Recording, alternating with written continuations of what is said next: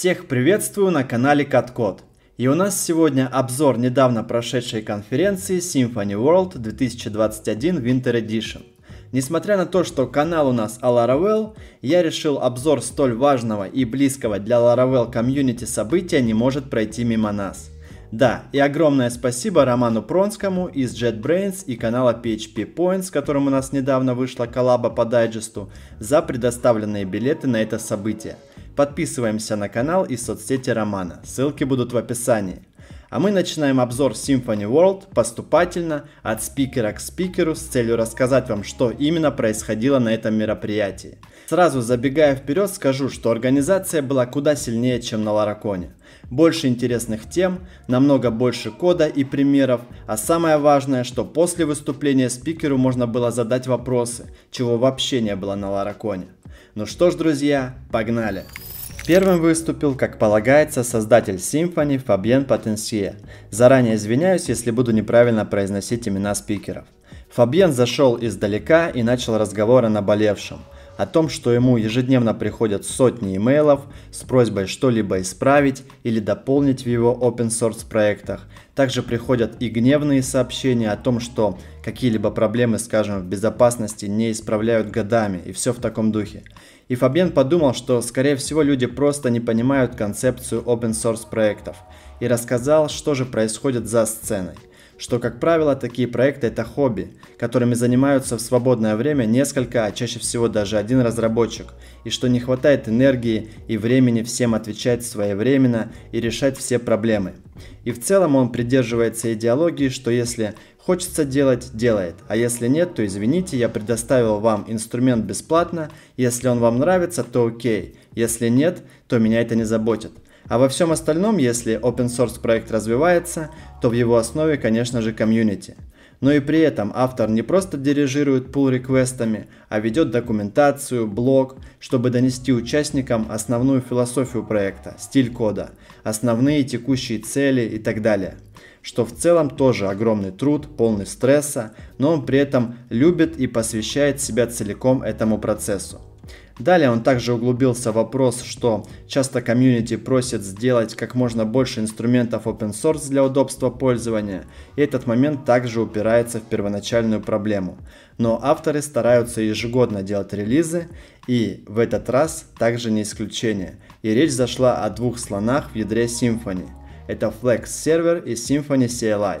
CLI стал open source проектом, а Flex сервер в ближайшее время отключат, но JSON настройки перенесены на GitHub.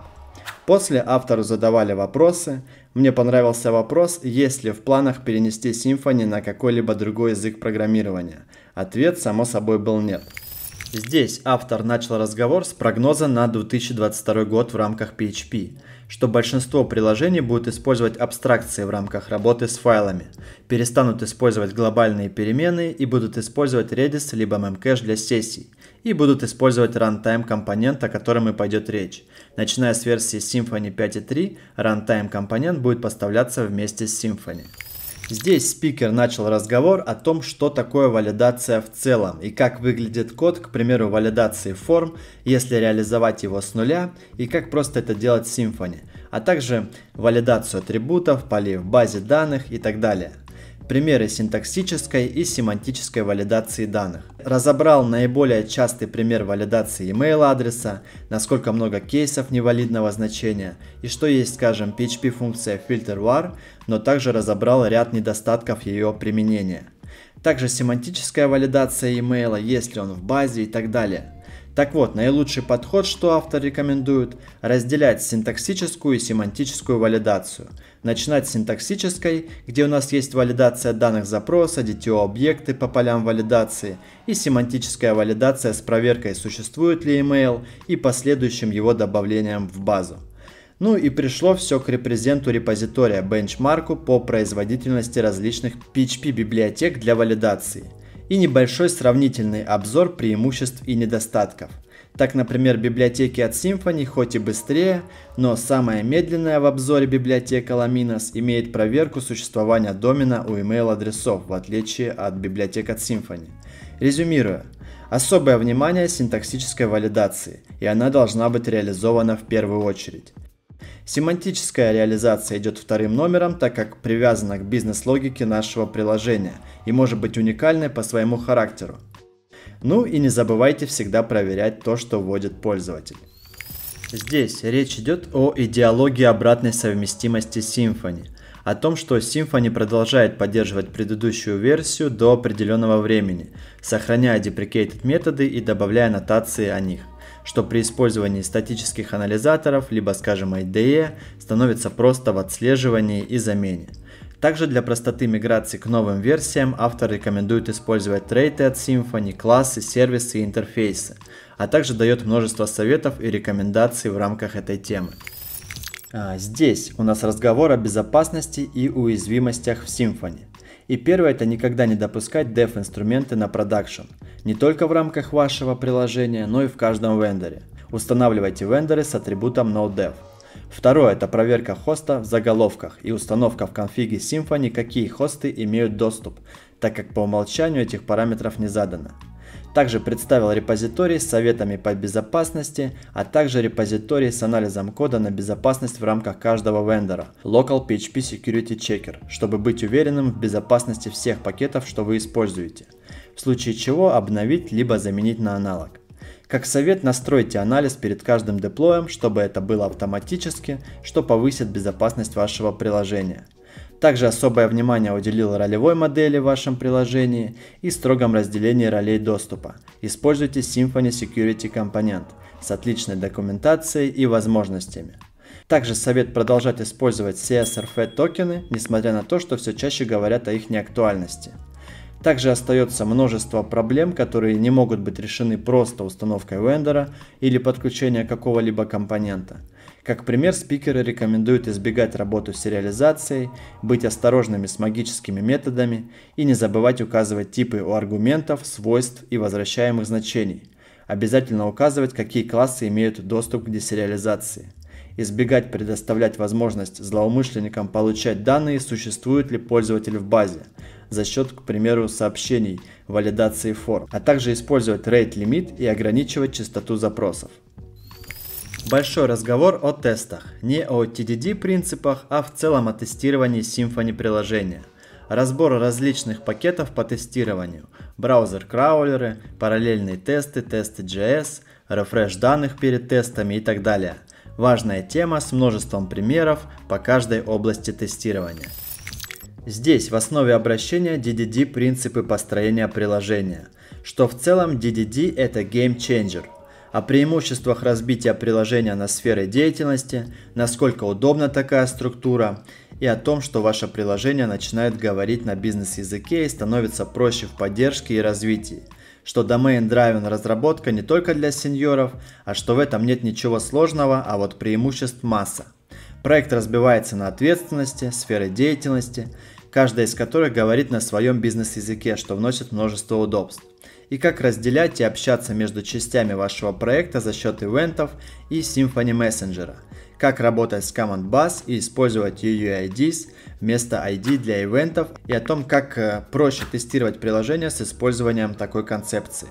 Все это подробно с примерами реализации. Отличное выступление о демонстрации DDD принципов в Symfony. Большой разговор о тестах, не о TDD принципах, а в целом о тестировании Symfony приложения. Разбор различных пакетов по тестированию, браузер-краулеры, параллельные тесты, тесты JS, рефреш данных перед тестами и так далее. Важная тема с множеством примеров по каждой области тестирования. Здесь у нас разговор о EAV, Entity Attributes Values, сущность, поля и значения – Суть в том, что мы строим структуру базы данных с отдельной таблицей, которая хранит дополнительную информацию о сущностях в виде полей и значений. Значения могут быть как ссылками-идентификаторами, так и указанием типа, либо просто примитивными значениями. Думаю, вы все сталкивались с CAV. Спикер же рассказал о преимуществах, примерах э, использования такой модели в различных CMS, насколько проще работать в такой структуре, скажем, с товарами, у которых динамически время от времени появляются новые характеристики. Также сравнение производительности и возможности по оптимизации данного подхода. Здесь автор рассказал, насколько огромен Symfony и насколько все автоматизировано. о том, что они прикладывают максимально много усилий для простоты миграции на новые версии и обратной совместимости, поэтому миграция на новый Symfony должна быть безболезненна. По крайней мере, разработчики делают все возможное для этого. Но основное внимание стоит обратить на переход к версии PHP 8.1. Да, PHP ниже 8 версии больше не поддерживается. Также автор продемонстрировал преимущество производительности Symfony с переходом на последнюю версию PHP. Также весь deprecated код будет удален из Symfony 6. Код стал чище и без дублей. TypeHint теперь будет всюду в Symfony, у всех свойств аргументов и возвращаемых значений, за счет чего аннотаций стало меньше и код опять-таки чище.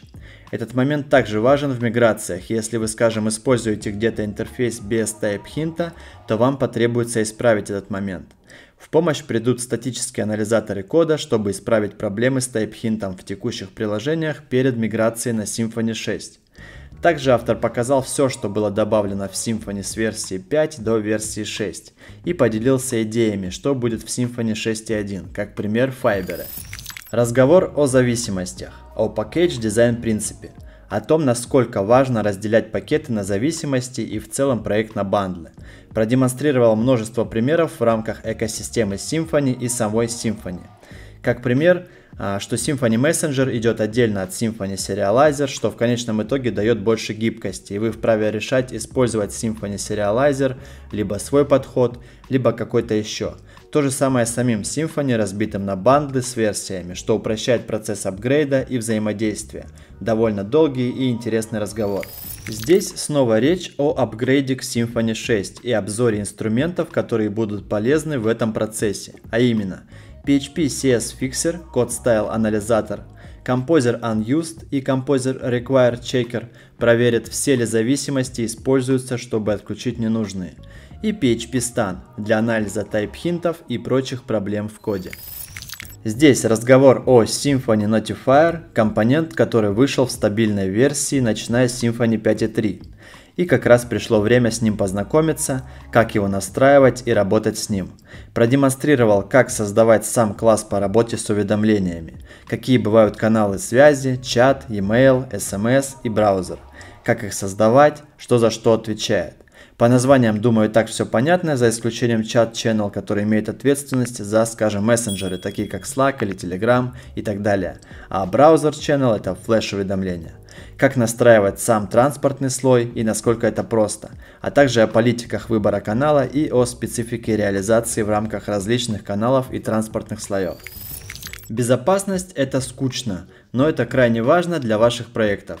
И как нам повезло, что есть готовые компоненты для этого – Разговор о улучшениях безопасности в Symfony 6 и о советах, которые помогут в улучшении безопасности ваших приложений.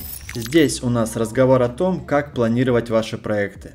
Начинать с малого, иметь план на развитие, стараться автоматизировать процессы по максимуму, делегировать задачи, использовать инструменты и платформы, помогающие вашему проекту. Все в таком духе в этом обращении. Здесь у нас разговор о том, как увеличить производительность с помощью Blackfire Player. Скажем так, реклама инструмента. Blackfire Player это у нас веб-краулер, помощник в тестировании веб-приложений. И как все это чудо далее интегрировать с Docker. Рассказал о проблеме, с которой они столкнулись в рамках их проекта GOG.com. Проблема заключалась в том, что местами сайт работал медленно, и как они с помощью Blackfire Player находили подобные места и исправляли. Продемонстрировал его работу на различных сценариях, показал, какие аналитические данные этот инструмент выдает, как все это просто и удобно делается, а также продемонстрировал интеграцию с Docker. Здесь речь пошла о Twig в Symfony, о том, что это такое для тех, кто не знает, преимуществах и советах и рекомендациях в разработке с Twig. В целом Twig это буква V в MVC, это шаблонизатор. В целом это обращение будет полезно для тех, кто не знаком с Twig. Автор рассказал о интерполяции, работе со строками, датами, как компилируется, как расширять шаблоны, повторно использовать код и так далее. Много полезного и крайне интересно для новичков. Здесь автор затронул проблему сервис-ориентированной архитектуры, когда ваш проект использует множество внешних сервисов и как отследить, все ли узлы продолжают работать, нет ли сбоев и нарушений в зависимостях. Продемонстрировал Symfony Profiler, что он может помочь в этом вопросе, как с ним работать и все его преимущества. Думаю, уже видно из заголовка, что речь пойдет о Symfony Forum компоненте. Автор с примерами показал, как работать с формами в Symfony, как их генерировать, проводить валидацию данных, кастомизировать шаблон и при этом не бояться за безопасность. Здесь разговор о дизайн-паттернах, о том, что дизайн-паттерны не решают всех ваших задач, но являются кирпичиками в построении качественного приложения, о том, что дизайн-паттерны помогают общаться между разработчиками, помогая понять код лучше – помогают разделять код на небольшие составляющие, что дает преимущество в чтении кода и тестировании. Помогают в дальнейшем расширять проект, и все это идет нога в ногу с SOLID принципами. Все это о качестве кода. Да, кстати, совсем скоро от CatCode выйдет курс по принципам Solid на примере Laravel приложения. Думаю, в начале января я его анонсирую. Преимущества TDD принципов – по конференции уже затрагивали DDD принципы, а также в целом как тестировать Symfony приложения, делать это правильно, а здесь автор затронул тему TDD принципов и не просто на словах, а продемонстрировал на примере Symfony приложения. Рекомендую к просмотру, как только повтор станет доступен всем. Здесь речь о статических анализаторах кода, а именно PHP Stan. Symfony 6 использует всюду TypeHint и для миграции на новую версию это станет крайне важно. Поэтому статические анализаторы будут крайне важными помощниками в апгрейде Symfony на новую версию. И мы уже не первый раз слышали об этом на конференции. О преимуществах и как с этим работать рассказал нам данный спикер. Всем спасибо за просмотр. Буду рад вашим лайкам, комментариям и обязательно подписывайтесь на канал те, кто этого еще не сделал. Также напоминаю и про наш телеграм-канал. Ссылка будет в описании. Всем спасибо за просмотр, увидимся в следующем ролике.